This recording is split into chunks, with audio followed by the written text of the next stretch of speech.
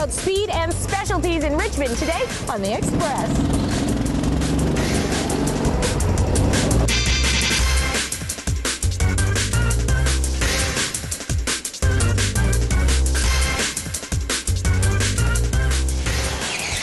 On today's show, It's a lot of fun. Yeah. TBC indoor kart racing. The award-winning Delizia Fusion Cuisine. We use the best ingredient, but we, we don't care about the cost. There's nothing else to do in the rainy days but stay inside and go to the ring. Stick and puck drop-in hockey. I guess it's just part of living in Canada and growing here as a kid. taking anything old and turning it into something new again, that's a really valuable thing. The vintage vibe of Barking Hippo. Upcycled record covers, people thought that was quite interesting. See that and more local expression. Welcome to the Express. I'm Johanna Ward. Today's show is all about the good life in Richmond, BC. We've got food, we've got fashion, and we've got all kinds of family fun. Skating at the Richmond Oval, super speed here at TBC Indoor Kart Racing, and a little stick and puck for the hockey fans.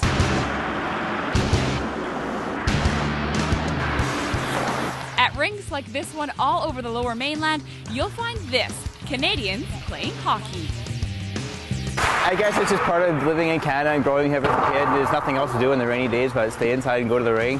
Here at Richmond Ice Center, there is non-stop drop-in hockey, 9 to 3, 5 days a week. This is a program that as an adult you can start off and it allows you to start and then you get a little better and you can play on a team. It's not that much, it's just a couple bucks and just go have fun. You can play all day and at your own pace. All different skill levels here. We got uh, the beginner to the more seasoned pro. No skill level at all.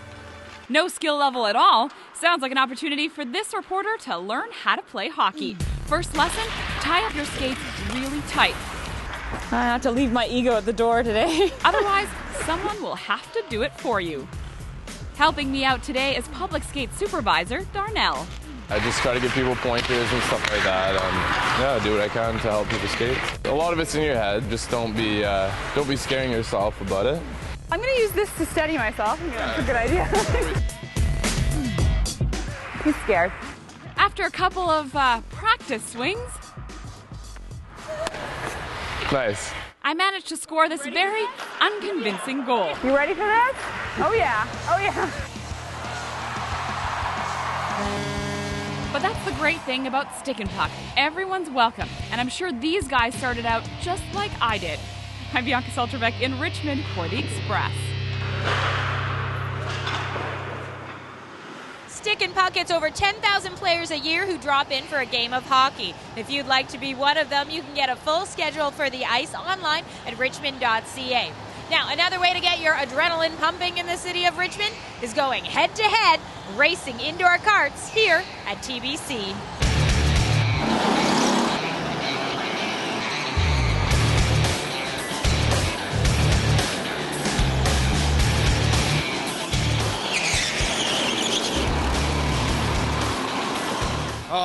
Man, we can do almost 75 kilometers an hour inside at two inches off the ground. It's actually pretty fast. The track itself is a one fifth of a mile, 13 turn road course with a few hairpins and a long straightaway. Well, first of all, we have to say happy birthday to Oscar, turning 12 this week, and this is one of your presents. What'd you think? I loved it. It was great. The first lap was just trying to get control. The second was great. And who went faster? Those guys. By the third lap, I had a hard time catching up to him, so I know if we spend any more time out here, he'll be kicking my butt.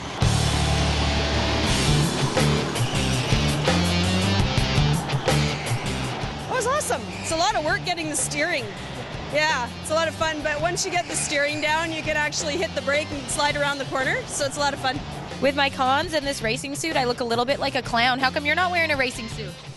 Well, I uh, I try and stay off the corners, and uh, so I you know I have less less black uh, tar all over me. So I try and stay in front of, in front of everyone, where yeah, there's less dust in my face. I guess it's just uh, it's kind of fun to go out with a camaraderie with buddies, and I think it's a competition within your friends and, and family that makes it the most fun they're European uh, racing cars. They come from France. There's really not many people that make concession carts. That's what we call concession carts or rental carts. Uh, they're actually as close to a true racing chassis that you'll find.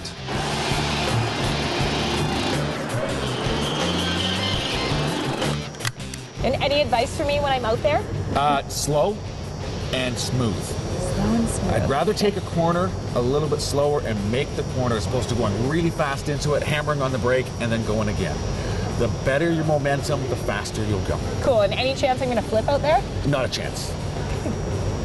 uh oh. and here we go.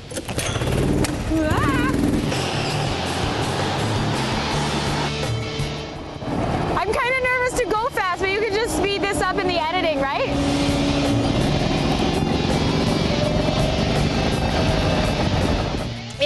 The first lap's pretty slow and timid, but after that, you start picking up speed. And we'll see how I do later on the show, whether I win the Speedster Trophy or the Turtle Trophy when Sean and I go head to head. Right now, it's a winner on the Richmond food scene, a new eatery that just opened this fall that has won numerous awards on the Top 100 Chinese Restaurant Competition. Like any restaurant kitchen, Delizia Fusion has lots of activity.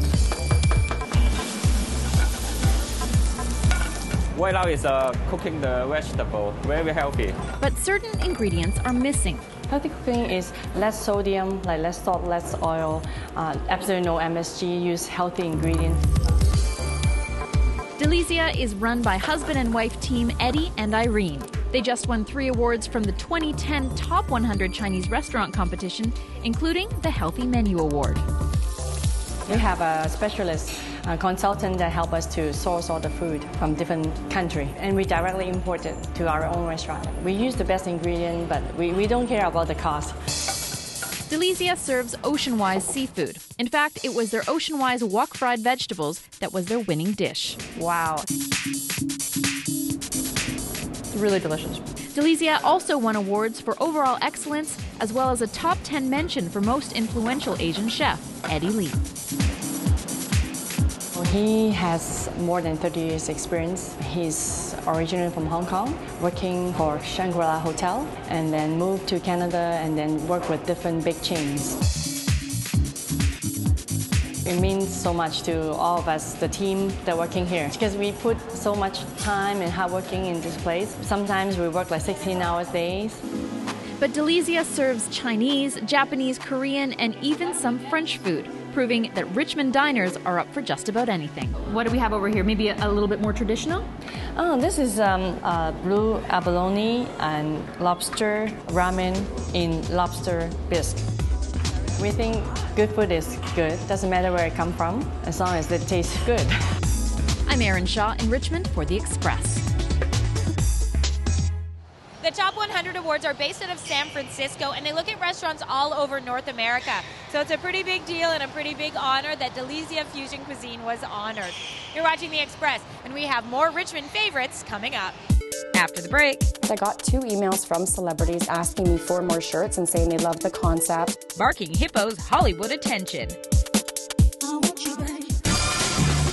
Head to head racing at TBC. You're watching local TV on The Express.